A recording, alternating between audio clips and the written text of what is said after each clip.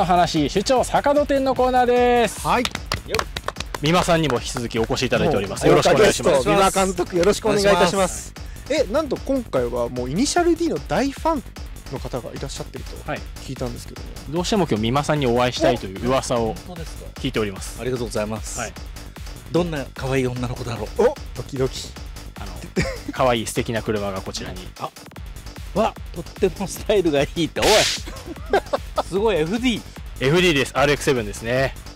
これプロジェクト D のはい頃の FD3S ですね。綺麗だなぁいやこのえどどの方ですか？紹介してください山はい中さん、オーナーをご紹介したいと思います、左足さんです。よろしくお願いします。以前あの番組にも出ていただいておりまして。そうですね。以前、はい。あの愛車紹介ではい。出させていただきました、なんと本日も来ていただいております。ありがとうございます、はい。ありがとうございますなんで左足さんっていう名前なんですか？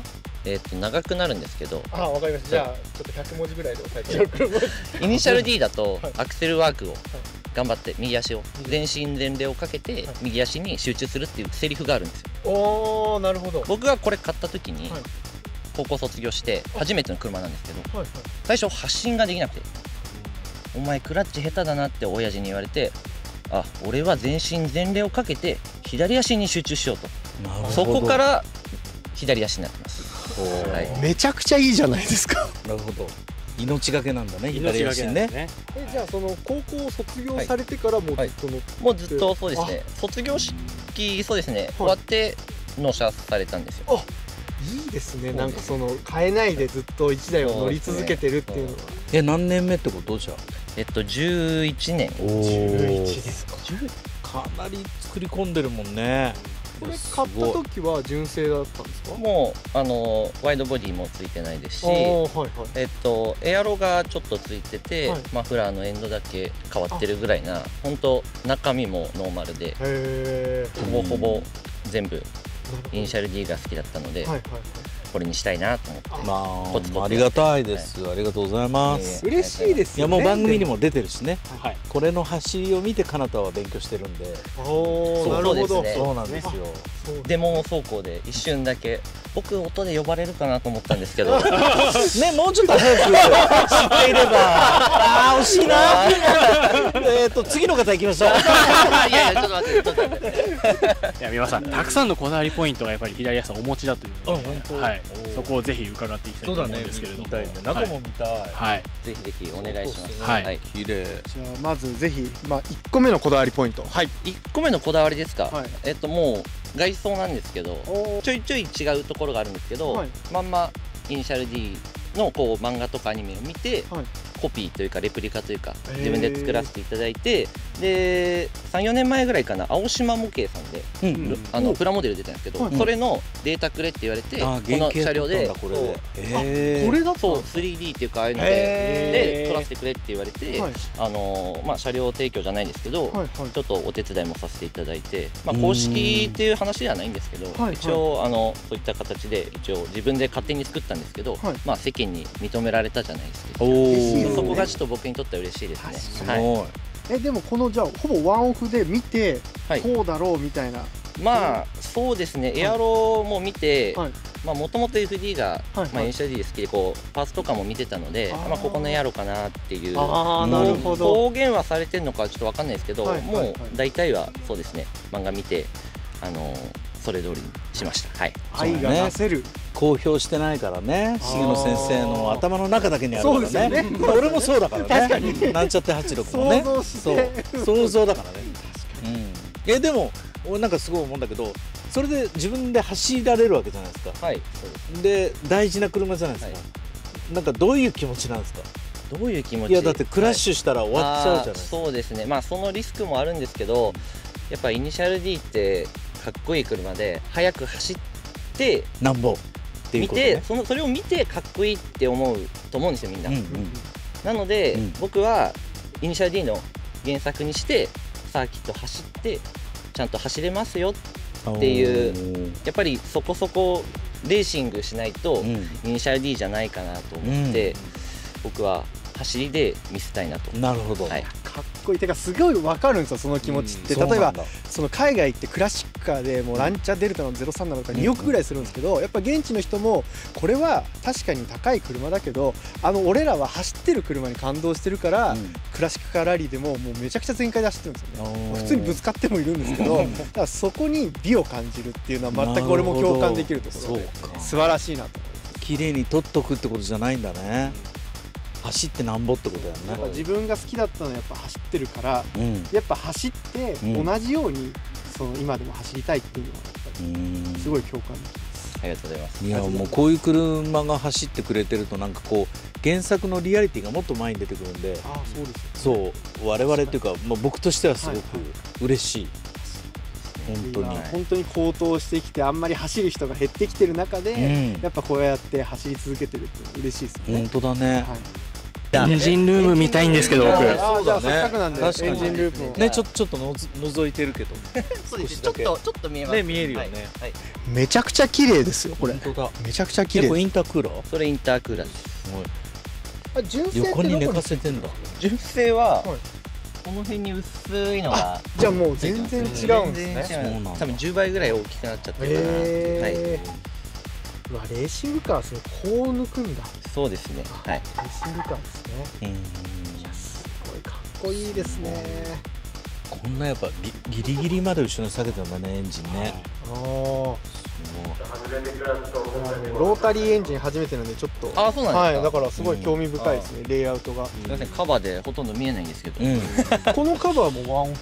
これそうですね FRP で自分でちょっとそれっぽく作そうなんだったんですはい。すごいっすね、自分で。手作りなんだこれ。はい、GT とか、はいはい。この辺をちょっとまあ模してじゃないですけど、そうですね一応はいちょっとブランド名左足で出してください。いやいや。レフトフットでもいいです。量産はちょっと難しいかなって。いう車重いくつでしたっけ？車重ですか？あの車検最初の登録時は1250キロぐらいだったんですけど、うん。内装全部ついてロールケージ入れてるんですけど今1150切ってるぐらいです。軽い。軽い。めちゃくちゃ軽い。だってエンジンがえこれ最初のエンジンじゃないんだ。えっと、まあ、壊れたので同じ何代目これ？でこれ3期目ですどうすんの三期だよよく3期3日あるね。あもうもうパーツは出るので。ああそうなんだ。バラそう。あへーそうなんだ。パーツは出るのでバラしてまた組み直してっていう感じで。はい。そういうもんなんだ。い。や中古見っけてエンジンだけ抜いてきてんのか日本一みたいなと貴重なエンジンがそうそうそう。エンジンだけなくなっていく感じですかね。もう車も少なくなってるから大変だよね。そっかパーツあるんだね。はいもう内装の細かいところとかはもう出ないのが多いんですけど、そうですね。そうはい。ですね。年式的にそうですもんね。どのメーカーさんもやっぱはい。この頃の一番やっぱ人気なスポーツカーってなかなかそうなんですよ廃盤になってきたはいりするはい。うんもうなかなかパーツがないので。はい。じゃあそんなパーツがない内装を見てみましょうか、はいぜひはいそう見てみましょう。えこれも手作りなの？これは FRP のうん。ダッシュカバーがあの市販されてるんですけど、あされてるんだ。それを、まあ、塗る人が大体多いんですけど、はいはい。僕はあのポルシェとかはい。フェラーリとか、うん最近だと WRC とかも全部スウェードというか、ので最近それが流行りだったので、僕はそれを上から貼り付けて、うんああなるほど。はい、ちょっと高級感出して、はいいやいやいや。ね反射反射しないからね。そうなんですよ。そうなんだよね。反射しないんです本当に最高にいいよね。開けてもいいですか？どうぞ。はい、はい失礼します。濃いじゃないですか。皆さん見てください。メーターも。一緒ですよ。本当だあこれメーターマツダスピードですか？いや違いますね。えっとあ違いますか？日本ケーキ。デデフィですね。デフィ。えー、え原作俺が聞くのも変だな。原作もこれなんですか？原作はあのー めっちゃ面白い。はい。マツダスピードのメーターじえっとですね、メーターはあのーステアリングの奥にあるあの1個しか原作がついてないんですけどそうなんだ。そこにブーストメーターがついてて、今ああそうなんだって。思っいやいやいやいや。内装は俺担当じゃないんだよそうですね。そう。でそうなんですけど、うん。僕はそのまあ水温とか油温とかがまあさっきと走るんであ実際走るからね。見たいなと思って、追加でちょっと4つ。なるほど。つけたんですけど濃いっすね。めちゃくちゃかっこいいっす。そうかロールバーもよ横は入ってないんだ。横はそうですね。そうだ入ってない。ね横入っちゃうとね。まあ安全なんだけど乗りにくいんだよねうん実際ね。すごいかっこいい。っていうかさ車内綺麗すぎいやいやいやめちゃくちゃ綺麗綺麗。綺麗に乗ってる。本当に。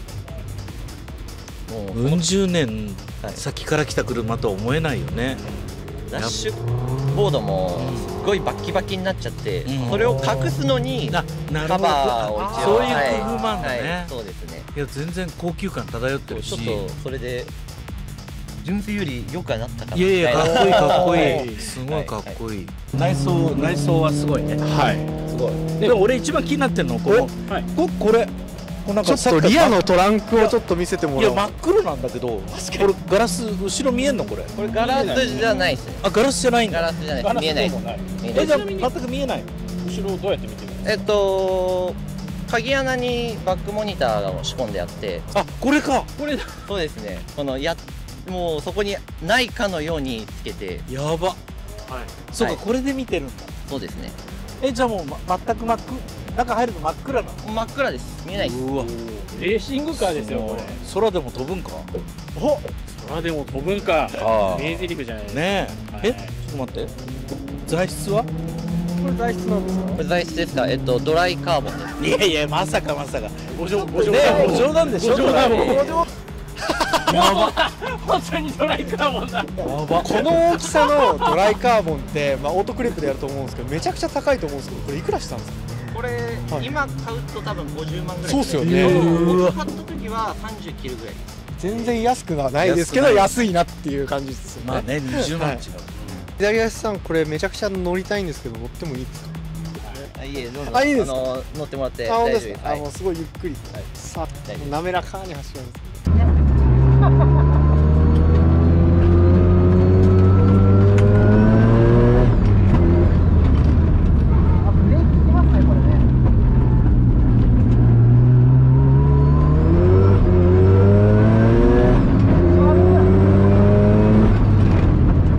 ブレーキいいっすかレーシングカーですね